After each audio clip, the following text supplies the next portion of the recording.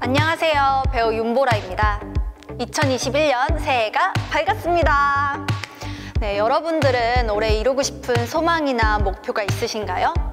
저의 올해 목표는 건강을 챙기는 것입니다.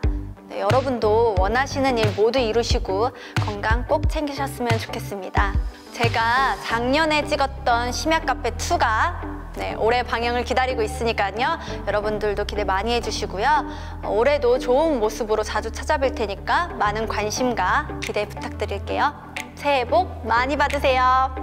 감사합니다.